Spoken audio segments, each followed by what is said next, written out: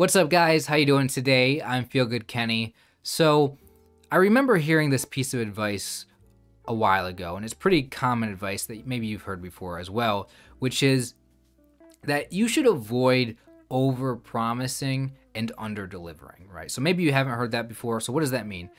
That means that you should never tell people that you're going to do something. Never make promises that you can't keep because maybe the thing that you tell people you're going to do, you just never actually do it.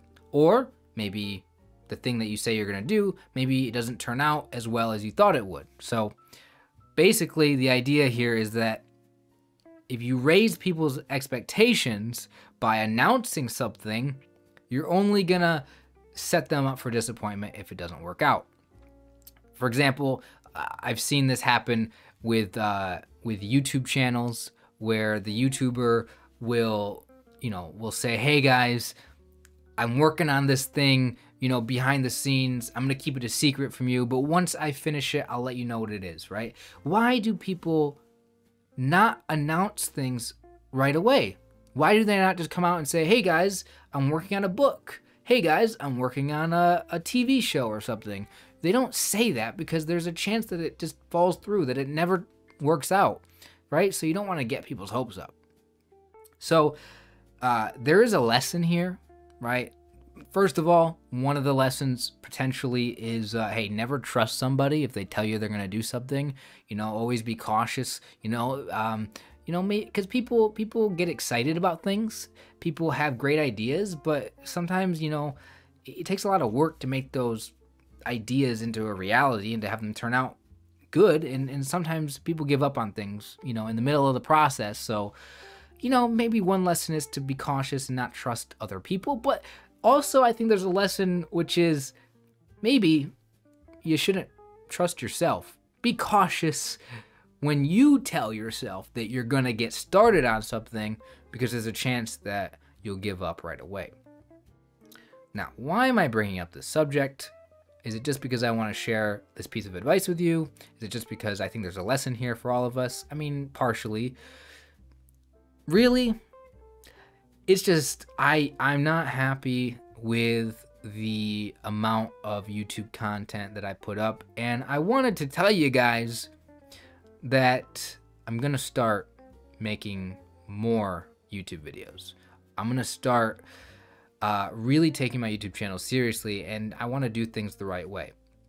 And you might be saying, yeah, yeah, yeah, you've said this before. And it's true. I have said this before. And yes, I have failed before. I've not stuck with it. Um, you know, something you should ask yourself all the time is when you say you want to do something, right? Because here's the thing you tell yourself that you're going to get started on that thing that you've always wanted to do, right? You tell yourself that, you know, you're going to be healthy now, right? You're going to exercise, you're going to eat right. You tell yourself that this time is different. And yet, time and time again, we don't follow through. We don't keep going. We give up. You tell yourself this time is different, and it isn't. So, I don't want you guys to believe me at all. I don't I don't expect you guys to believe the fact that I'm going to start making YouTube videos right now. Um, in order for that to be a reality, I have to prove it, right? The truth is this.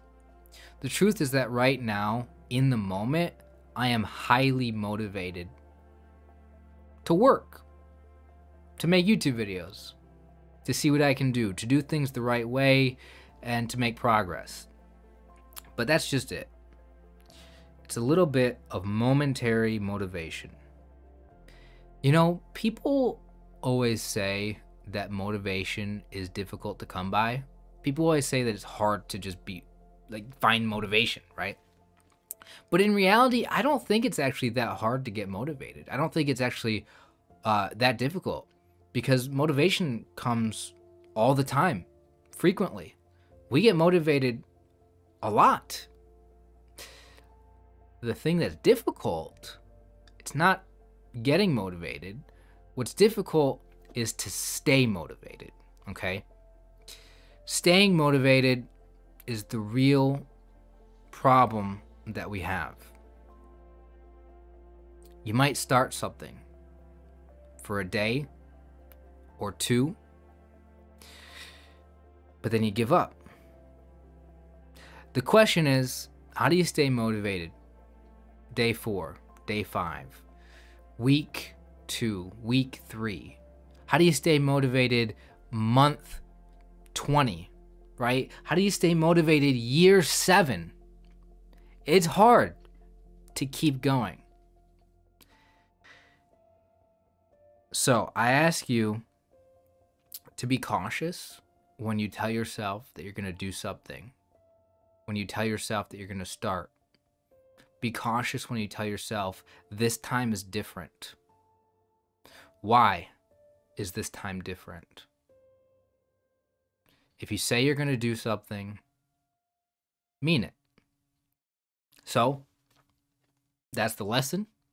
But really, the point of this video was for me to tell you guys that um, I'm going to make more videos.